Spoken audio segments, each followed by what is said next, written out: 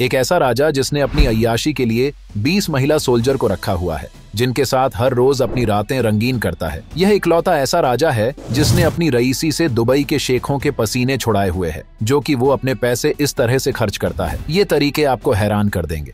जब उसका मन करता है तो वह अपनी महिला सोल्जर्स पर करोड़ों डॉलर उड़ा देता है तो कभी अपने पिता के मरने पर उनकी लाश को ले जाने के लिए सोने का रथ बनवा देता है। लेकिन सोचिए कि ये जिस देश का राजा है, आज उसकी औकात बस इतनी सी है कि उसका पूरा देश सिर्फ़ अपने स्पेशल मसाज के अलावा और किसी भी चीज़ की वजह से फ़ेमस नहीं है। जी हाँ दोस्तों, हम बात कर रहे हैं थाईलैंड के राजा महा वजीरा लॉन्गकॉन की। इनका जितना टेढ़ा नाम है, उतने ही टेढ़े इनके काम भी है। दोस्तों अजीबो गरीब नाम वाला राजा थाईलैंड की सड़कों पर क्रॉप टॉप पहनकर घूमता हुआ आपको दिख जाए तो हैरान मत होइएगा, क्योंकि इनके कपड़े इतने अजीब होते हैं कि इन्हें पहचानना भी मुश्किल हो जाता है। ये तो कुछ भी नहीं है। इस राजा ने अपने अयाशी के लिए 20 ऐसी महिला सोल्जर रखी हुई है, जिनके साथ ये हर रोज गंदा काम करते हैं, और इसकी सबसे बड़ी कमज़ोरी, खूबसूरत लड़कियाँ और औरतें, जिन्हें जब चाहे खरीद सकता है। इस वजह से इस राजा को अयाश और रंगीन मिजाजी भी कहते हैं। कबीर के टाइम पर यह अपनी चार पत्नी, कई नौकर और नौकरानी के साथ जर्मनी के फाइव स्टार होटल में डेरा जमाए हुए हैं।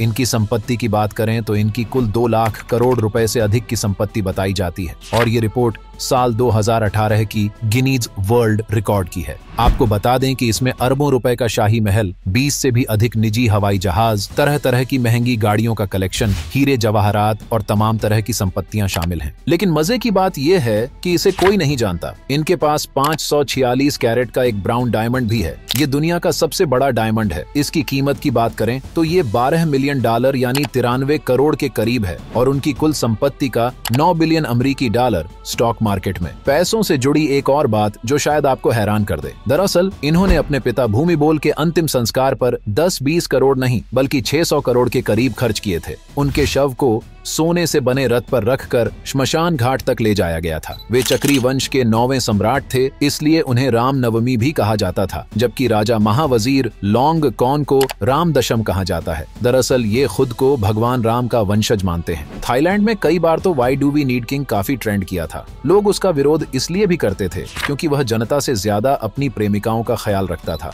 अगर इस राजा की पर्सनल लाइफ की बात करें तो इन्होंने कुल चार शादियाँ की। शुरू के तीन शादियों से इन्हें सात बच्चे राजा महावजीर लॉन्ग कॉन्ग ने 35 साल की सिनी वांग वजीरा फाकरी से शादी की थी। हालाँकि इनकी शादी ज़्यादा दिन तक नहीं चल सकी। इनकी चौथी शादी सबसे ज़्यादा विवाद का कारण बनी। इन्होंने अपनी चौथी बीवी को एक साल के लिए जेल में डाल दिया था। कारण बस एक छोटी सी अनबन थी। थाईलैंड के राजा ने अपनी पत्नी को एक साल जेल में रखने के बाद वापस छोड़ दिया। राजा ने कबीर के दौरान जर्मनी में एक होटल का चौथा फ्लोर बुक कराया था। इस फ्लोर पर उसकी अयाशी के लिए काफ़ी महँगी और लग्जरी चीज़ें रखी गई थी। और कहा जाता है की अपनी बीस सुंदर बॉडी गार्ड के साथ राजा यहीं पर अपनी सारी अयाशियों को अंजाम देता था। कुल मिलाकर बोले तो राजा अपनी मर्ज़ी का मालिक है। एक बार राजा को उसकी एक गर्लफ्रेंड के साथ शॉपिंग करते हुए देखा गया था। उस वक्त भी राजा ने क्रॉप टॉप और जीन्स ही पहन रखा था। मीडिया में इन खबरों के फैलने के बाद भी राजा की पत्नियों ने अपने पति को तलाक नहीं दिया। उसके उलट उनकी पहली तीन पत्नियाँ राजा के साथ हमेशा खड़ी रही और उनका कहना था कि वह अपने पति से बहुत प्यार करती है। तो यह है दुनिया के सबसे अमीर राजा की कहानी, जिसकी अयासी की कोई सीमा ही नहीं।